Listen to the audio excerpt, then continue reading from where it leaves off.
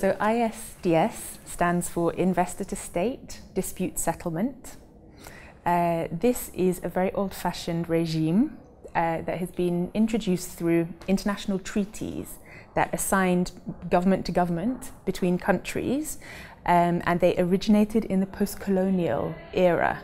So when, for example, British investors in what became the newly independent Tanzania were concerned that some of the assets which they owned in Tanzania might now be, be taken away by the new Tanzanian government. So the British are no longer ruling Tanzania, the Tanzanians are ruling Tanzania, and British investors were concerned about what that me might mean for their property in the country. So uh, the way that they're negotiated, that it's, they're signed between one state and another, but they actually confer rights on individuals and companies, which is completely unusual in international law. Uh, and those rights, which the companies receive, they can enforce through ISDS, Investor to State Dispute Settlement. So what it, what it means in general terms is uh, a very small three-person uh, team of commercial lawyers who are appointed one by the investor, one by the state, and one who's agreed between the two. And they sit in secret and they decide on the merits. They, they act like judges. So they decide uh, the outcome in cases where investors have a complaint against a state.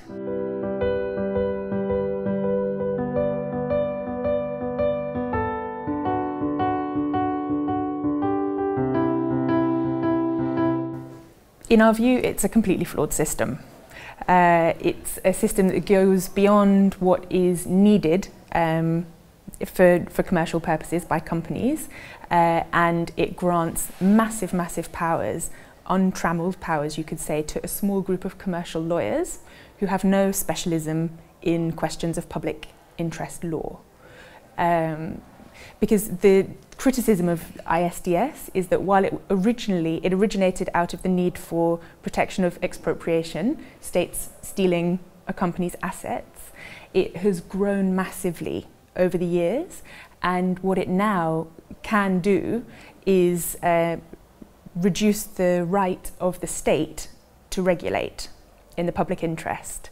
So to make laws or regulations, for example, on issues about the environment, on issues about public health, um, because if a company feels that that law in any way damages their prospect of future earnings, the company can take the government to court. And the process for trying the claim is very biased because it's a tiny court with no oversight, no scrutiny. Uh, they're not publicly appointed judges, they're commercial lawyers who act on a case-by-case basis and so they have a self-interest, a, a professional interest in winning new work, so in coming to conclusions which are generally or often investor friendly rather than state friendly.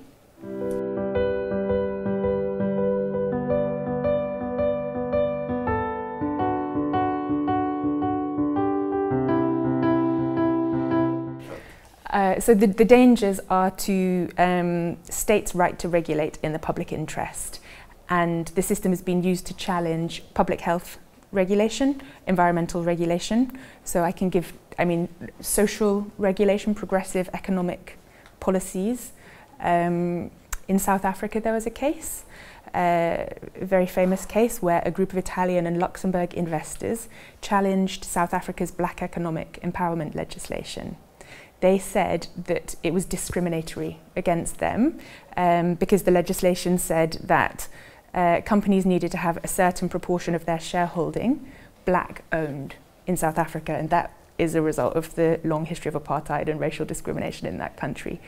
Uh, in that case, the investors had a good claim and the South African government in the end chose, rather than fight all the way to the end, to settle out of court.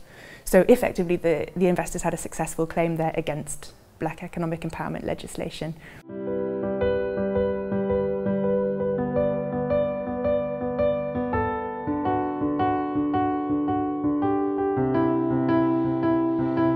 Yeah, the, um, the European Commission have put forward a whole series of reform proposals. Um, the positive thing about those is that they acknowledge there are problems with the current system.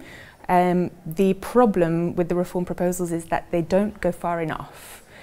They're not sufficient in themselves to remove the problems, for example, with the South Africa case.